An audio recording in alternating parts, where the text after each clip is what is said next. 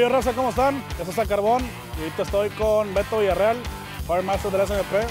¿Qué vamos a hacer hoy, Beto? Vamos a hacer un atropellado de flecha de res.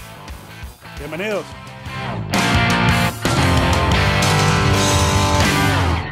Vamos a empezar con nuestro flecha, que es, viene en una parte del pecho, que es una, es una proteína que cocemos a tiempos largos, eh, a baja temperatura, pero aquí la vamos a hacer de forma rápida en el asador, la vamos a tostar para traer unos, unas costras crujientes y luego la vamos a transformar suave con nuestra salsa tatemada. Vamos a utilizar un poco de rub del norte, sal, ajo, pimienta, comino y también un poco de sal, un poco de sal ahumada. Fuego fuerte, directo al asador. Vamos a poner nuestros vegetales por un lado en el asador y por el otro lado vamos a, a- a asar nuestra carne de, a fuego directo. Igual lo vamos a sellar y vamos a estar a la vuelta y vuelta creando capas de sabor.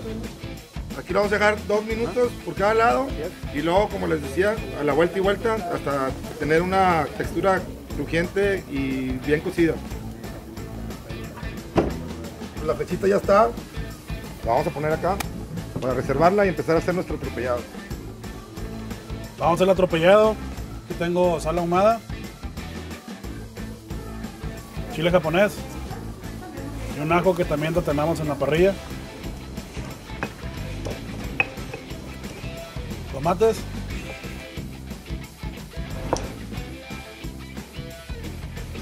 Y la cebolla la aventamos picadita. Vamos a picar nuestra carne, pedacitos así de bocado. Mientras tanto ya tenemos nuestro sartén ya con aceite calentando para hacer nuestro, nuestro guisado atropellado. ¿no?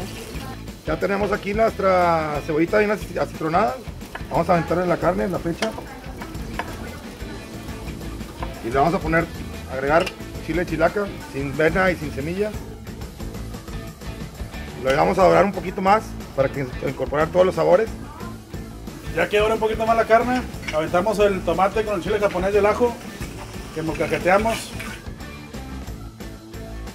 Ya que tenemos nuestro, nuestra carne ya incorporada con el guisado que hicimos de, las verduras tatemadas y el chile chilaca y todo, vamos a, agregar un poco de frijoles de la olla.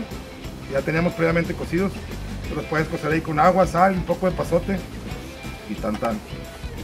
Incorporamos todo y esto lo vamos a terminar con un- una capa de queso chihuahua y lo vamos a llevar al asador para que retire nuestro queso.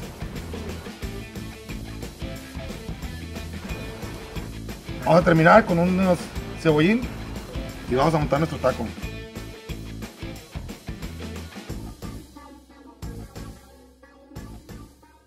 Pues ya quedó nuestra flecha, aquí está el atropellado, tortilla de harina, aguacate y listo. Aprovecha, raza.